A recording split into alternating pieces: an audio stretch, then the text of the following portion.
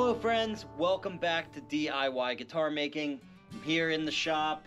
It is a cold, brisk morning, and uh, I just fired up the wood stove here. So while that is warming up the shop and basically bringing me to life and getting the feeling back into my fingertips, we're going to go ahead and answer your questions. Let's do Q&A. Okay, friends, and let's just go ahead and get right into it. I'm going to start with the question of the week, which in this case is actually the question of the last three weeks. That happens a lot, actually. Question of the week isn't always what it seems. Sometimes I let the question hang out there a little bit longer, uh, either because I'm too lazy to put a new one up or I forget, uh, but more commonly, actually, I will leave it out there just so that I can, it, because it's a good question and I want to see if I can get more responses and more answers to it um, before I'm satisfied with the, the dialogue that we have going back and forth. And that was the case with this one. The question of the week was about three weeks ago what sharpening system or set of stones, uh, just what method do you use for sharpening? Because there's a lot of different methods out there. And uh, I've already read some previous ones in, in other episodes uh, about what other people do, but we've gotten a couple, in that time, we've gotten a couple more responses. And so I'll go ahead and share those with you. ASAT11 writes that he uses the Worksharp 3000, which actually that's what I use too. Um, and after I go through these, I'll probably talk about that a little bit when I talk about what I do. Doc Joe says, I used the Scary Sharp workflow with 3M abrasives and glass plates. Very good. Um, yeah, I don't, have anything you know negative or positive to say about that. Uh, I, I, have done that before. Well, I guess one thing I'll say is uh, it uses a lot of paper and uh, and the time spent you know pulling out the paper and cutting it to size and everything. Uh, this, that isn't to say it's a bad system. Whatever gets you to sharp is great.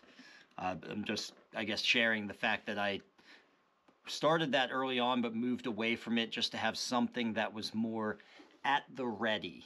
Meaning, my work sharp is literally bolted down to the table over there, so it's like a permanent station. And I just walk up and, you know, give my chisels and plane blades a little tune up over there. Um, and uh, you can get the same thing though with a, a stone because stones, you know, you can store them right under your bench and just pull them out. Having things ready to go like that means you're going to use it more. Again, not knocking uh, the fact that he uses that scary sharp method and, and sandpaper. That can work too. Okay, yeah, and a good glass plate. Uh, something that's reliably flat for something like the scary sharp system. That's great.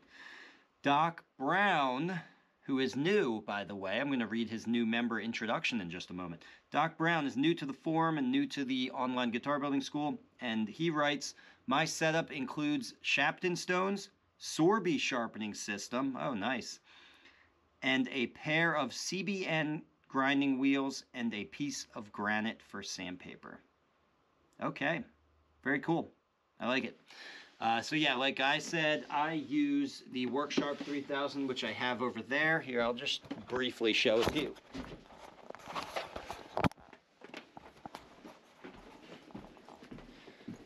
Um, I'm only showing it to you for your interest here. There, um, there's no sponsorship or anything like that. I don't do that kind of stuff. But um, it is a great tool, so I will say that very honestly.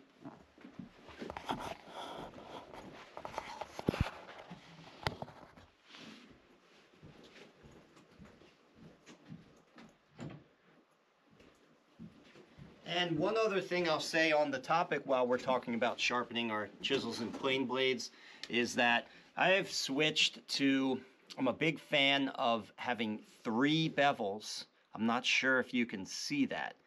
So many of you are familiar with the concept of having a primary bevel and a micro bevel. Um, I have been convinced of the idea of actually having three bevels instead of just a primary and a micro bevel you could call it the primary bevel, the micro bevel, and the super micro bevel if you want, whatever you want to call it, or the nano bevel perhaps. Uh, so the reason for that really is just ease of sharpening off of that smallest of bevels, right? So a micro bevel, the purpose of a micro bevel is so that you don't have to work on the very large surface area of the primary bevel every time you go to sharpen it. If you don't have a micro bevel, you are working through a lot of steel every time you go to sharpen your chisel. But if you have that micro bevel that's set at a steeper angle than your primary bevel, then when you go to the wheel, you're just hitting that very front edge, which is the only part that matters as far as sharpness. Now with three bevels, what's nice is that super micro bevel, the smallest of bevels, I can just go straight to the highest grit on the wheel over there, my work sharp, and just a couple of seconds, touch up that bevel. No problem. It means I'm gonna do it way more often because it's not an ordeal. And as time goes on, the more I work that super micro bevel, it's going to eventually get larger and larger until it becomes a good idea to actually reset my angle to touch up the secondary, the micro bevel. If that makes sense, the, the middle bevel. Um, which then, when I touch that up, I'll have a nice small super micro bevel once again. I'm struggling with the terms here of what to call these things because traditionally it's a, you know, your bevel and your micro bevel. Anyway, the point is I pretty much never, really just never, I guess I'll say, have to touch up the primary bevel, which is most of the steel that's at the front of the chisel here. Most of the time, I'm just touching up the super micro bevel and uh, some of the time I have to go back to the micro bevel. Anyway, um, you know, it's a similar concept to some people actually round off the whole front. It's actually not even a bevel. I'm not sure if round is the right word, but it's a, a graduating hill down to the point. Uh, not, you know, rounded over enough to make the tip blunt, but it actually is a, a different motion on the stone than simply creating a flat bevel at your edge. And this is similar to that, except instead of a, a continuous curve of rounding, it's just multiple facets leading to that edge. But the whole point of this is whatever creates a situation where you have less time to spend at the stone or the wheel or whatever you're using so that you will sharpen more frequently. And the three bevels for me achieves that. All right. I've said enough on that topic. Let's uh, see what else you guys got going on in the forum here. I'm going to put this chisel back and we'll keep talking. Okay, and there's a new member introduction in here, like I said, from Doc Brown. Let's go ahead and read that. Doc Brown writes, Hello there, David from southern New Jersey. I am both a woodworker and a guitar player. I still have my first guitar, a 1966 Gibson ES120T. Built a few parts casters and wanted to branch out. Still watching the videos and trying to decide on a wood combination. Okay, great. Well, welcome. Welcome, Doc Brown. And you are not the only doctor in the house here. Uh, Doc Joe also posts a lot in the forums. So, um, yeah, we've got a lot of doctors. Uh, not sure if that means you're medical doctors or PhDs or uh, you just enjoy using doc in front of your, uh, as a prefix there. But either way, welcome. okay, let's see uh, some of your questions now. Enough rambling from me. And we have a question here from Lamar's Guitars. And Lamar writes, in a video a while back, perhaps on guitar number 87, Eric gave a source for some dyed binding and or purfling he was experimenting with Does anyone remember that source? I'm not finding it here. Yes, it was Gurian Instruments. So I'm going to spell that for you because uh, most people get that wrong. G U R I A N Instruments. So that's Michael Gurian's website. Fantastic source for all kinds of interesting uh, bindings and purflings. And um, from uh, what I understand, they supply StewMac with their material as well. So it's good to know. GurianInstruments.com, I believe, is the. Let me make sure I'm not giving you the wrong web address. Uh, yes, GurianInstruments.com, and Gurian is G U R I A N. Okay, great. And it looks like Patrick uh, found the source for us too and, and put it up on the forum. Okay, so I'll throw that on the screen. Thank you, Patrick. Okay, jumping back into a different part of the forum here. Let's see what else is going on. All right, Patrick has some uh, things going on with his build. And Patrick asks, which looks better, a maple or an ebony bridge? And he has his guitar that he's been building here. I believe it's an OM, and he has a zero coat back and sides and a lovely redwood top. Love that top. And I love the combination between zero coat and redwood. Looks amazing. And between his two pictures, let's take a look at it and make a decision for ourselves right here. I'll throw them both on the screen. I would say just go with the ebony. I think it works better. I've done a maple bridge before, and honestly, I didn't like it very much. Um, and I would, I would say the same thing here. The ebony just seems to work better. But let's see uh, what other people have said. Larry Kuhn writes, Ebony, if you're looking for reasons beyond gut reaction, number one, to me, it goes better with the grain of the top. Number two, it visually connects the eyes to the fingerboard i.e. the line down the middle from the fingerboard to the bridge.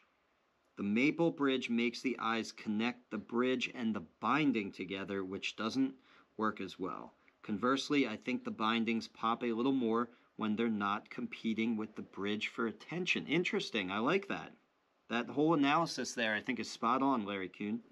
Um, yeah, I gave my my gut reaction there to it, which was towards the ebony. But um, I think he very aptly described why the ebony just seems to work better. I liked what he said about the bindings competing for attention there. I do think you you want to, in most cases, try and match the the fretboard and the headplate combination with the bridge and not other elements of the guitar. No set rules here though. If you like it, you like it, but you know, that's aesthetics for you. And then even Patrick writes, uh, after Larry Kuhn's comment, Patrick writes, I'm liking the maple one less and less. I might try to find some striped ebony that matches the backwood. Okay. Yeah, I think that's the way to go. All right, and LC Guitars writes, my first major amp repair, some bad solder joints, replaced the capacitors, new high watt resistors, new tubes, biased them, and a new speaker in this 2002 Fender Hot Rod Deluxe. And then he's note of caution here use caution if you want to do amp repair. This amp has several spots at 450 volts DC and the capacitors can hold voltage even after it's unplugged. Don't attempt at home without training. And he's got some cool pictures here. I don't know anything about this stuff, by the way. I mean, I've touched up a couple uh, solder joints here and there, but yeah, this is not my world, but I love sharing it and I like seeing it. I actually like reading about it sometimes, um, just for something different. Old Apple writes, I'm real new at this. Wonder if anyone has used Mesquite for a fretboard. I used Mesquite once for a back and sides, and actually, it's not accurate that I used it. Uh, a student requested, she was from Texas. She came here to take the class coming from Texas, and she wanted to use a Texas native on her guitar, and so we chose Texas Mesquite, and we did uh, Texas mesquite back and sides. We didn't use it for the fretboard though. And so I have handled the wood. I was there when the student built that guitar. And so I remember what it was like.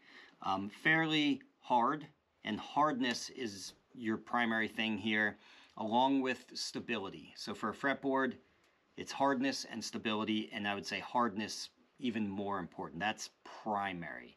That's make or break. If it's too soft, you really don't want to use it for a fretboard. And so why don't we go ahead, I'm going to look up real quick for you. I'm going to hop on the wood database, wooddatabase.com, which is what I always do when I have wood questions like this.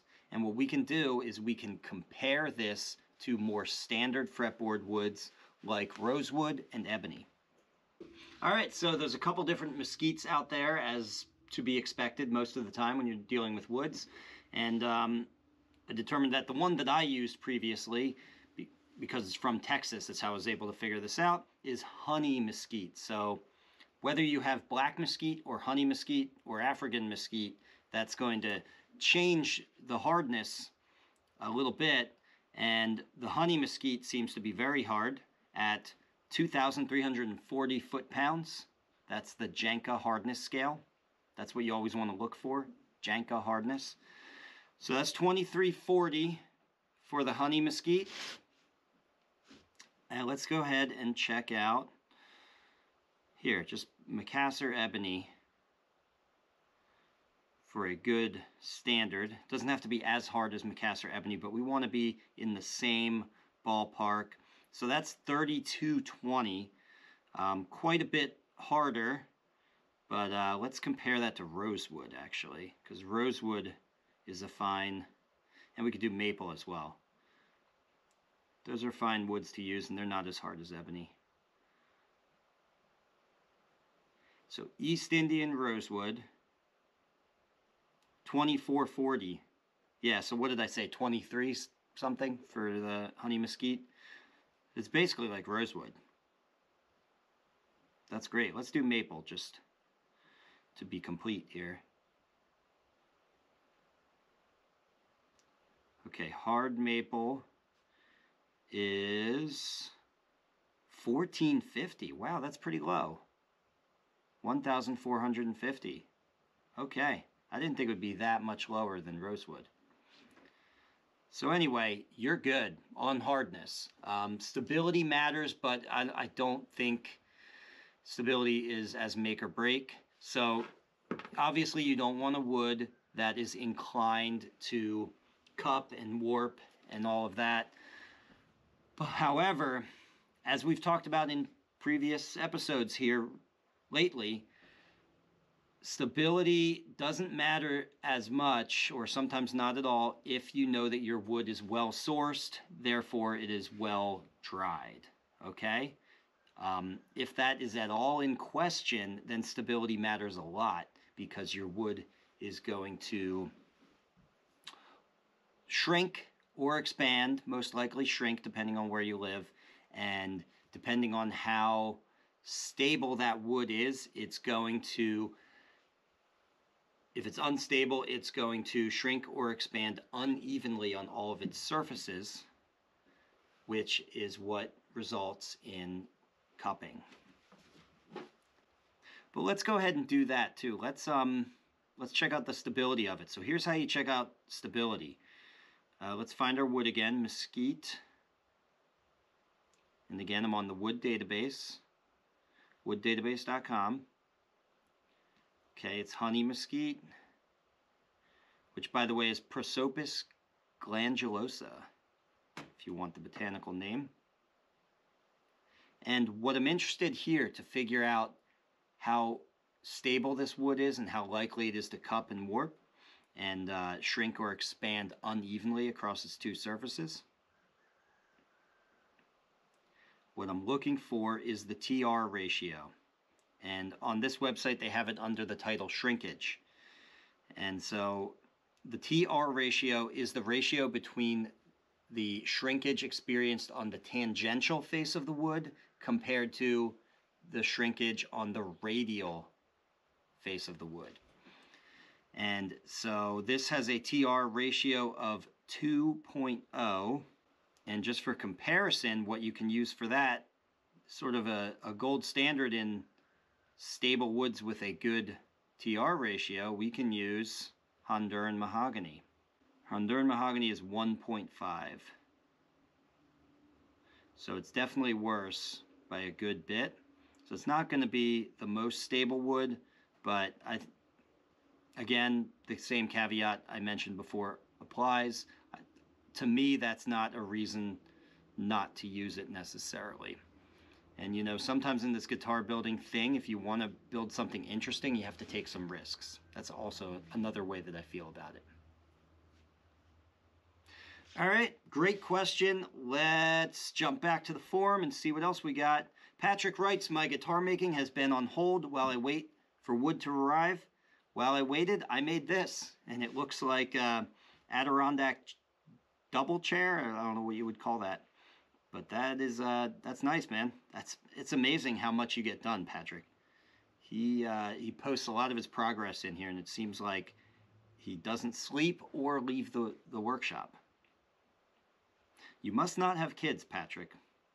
That's my assumption there. Or they're, they've grown and left the house. uh, but um, that's just me saying that from the perspective of uh, having uh, two children under three years old right now. Actually, my daughter just turned three. All right, let's go ahead and jump into your YouTube comments now. How about that? Okay, Jonah Guitar Guy writes, good video, Eric. And he's talking about the video that I just posted on fretboard design and also highlighting a mistake that I made in slotting my fretboards. If you like to see mistakes, go check that out. And he writes, by no error of my own, I know exactly what you're going through with the tapered fretboard. I bought 10 ebony fretboards from somewhere. They are 3 eighths of an inch thick and rough, but for some reason they are already tapered. Oversized, but tapered. I just used a center line and double side tape them to the template. Okay, yeah, that's another way to go about it. In the video, I had to, I accidentally, just without thinking, cut my, the taper into my fretboard before I did the fret slots. And so I had to glue a piece of wood to the side of that taper and essentially shape that edge until I was square again so that I could cut those slots. But yeah, if you very carefully align your fretboard on the template with double stick tape, that achieves the same thing. Very good. Thank you, Eric. Walt, this is Walter Ryder. Great recovery on the fretboard. Could you use dyed wood for the binding as opposed to the ebony? I mean, yes, but why would I want to? I guess I don't understand. Or are you talking about dyeing the wood just at the edges and, and not installing binding at all? I mean, either way, I, I would, I'm never inclined to dye woods, not because of any uh, religious conviction against dyeing woods, but um, I, I'm just not experienced with stains and dyes and things like that. I wouldn't be opposed to it in any way. Uh, that's just not the direction I, the way that I think and the direction I'm inclined to go. Uh, plus, I love ebony, so so yes, you could, but I'm gonna use I'm just gonna use ebony there. It's not gonna be an issue. Mark Pell writes, so many practical and aesthetic factors with guitar design to try and combine in the quote-unquote optimum way and it's amazing how changing certain details and relationships by a smidge can affect the entire look, feel, and or sound. That is absolutely true. Some things you just can't know until you try, and sometimes the best designs are a happy accident. Yes. Um, and then he writes, uh, as a special note there, he was talking about my layout plan here, not the fretboard mistake.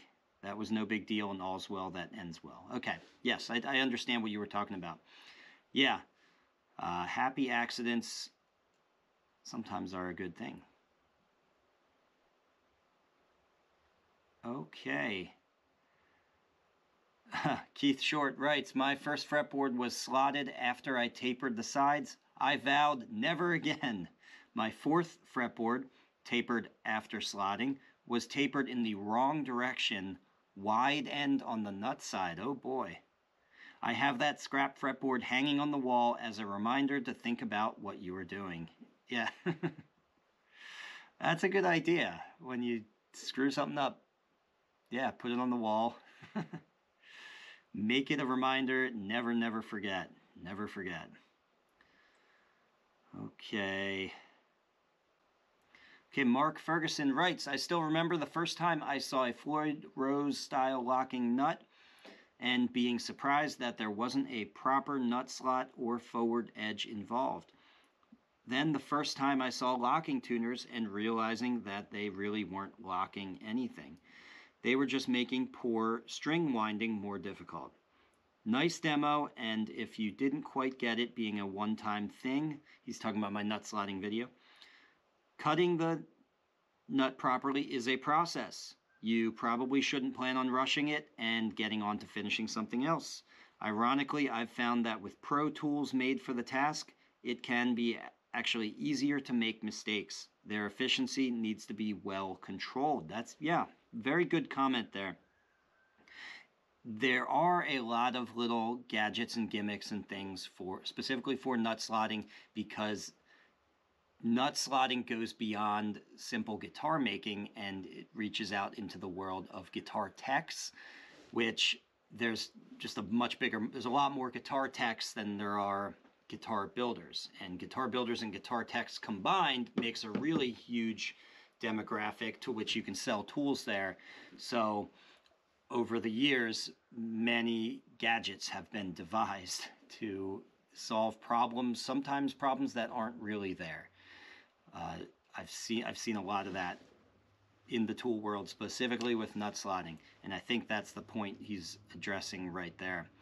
That it, it really becomes a you're damned if you do, you're damned if you don't kind of thing. There's there's kind of no way around just good workmanship good training and slowing down when it comes to nut slotting to get that accuracy honed in.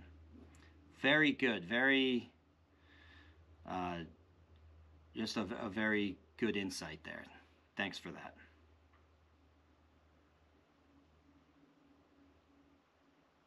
The Pragmatic Luthier writes, Silver maple, Acer saccharinum, will also form bird's eye, albeit rarely. I have a few board feet that I have kept for 40 years. Okay, interesting. I didn't know that. Yeah, I just did a video on bird's eye maple. That's cool. I didn't I didn't know that silver maple can also form bird's eye. Thank you. Uh, Sean Charton writes, the tendency for sugar maple to get burn marks is because of the sugar which carbonizes with heat from power tools. I didn't know that either. This is awesome, guys. I am learning a lot. Um, it's always cool to know why something does what it does. Uh, I just knew that, that sugar maple burns very, very easily. Um, and I always kind of assumed that it wasn't even that it burned more easily. It's just because it's so bright white that you, it was more visually noticeable. But um, then it would be on the dark wood, you might get some burning and not even really notice it. But yeah, definitely for sure, uh, that that seems to make sense to me. It does seem like it does actually burn more readily. Skyscraper Guitars writes, interesting to see bird's eye on an acoustic neck. The redwood will be a nice balance against the maple. Looking forward to seeing it come together. Yeah, thank you, Skyscraper. Um, I was actually just uh, talking to if you learned something here, please give this video a like and subscribe so you can be notified when I release a new DIY guitar making video. And if you want to really learn more, take one of my structured online courses at ericschaeferguitars.com or register for a hands-on guitar building workshop here with me in Bernville, Pennsylvania.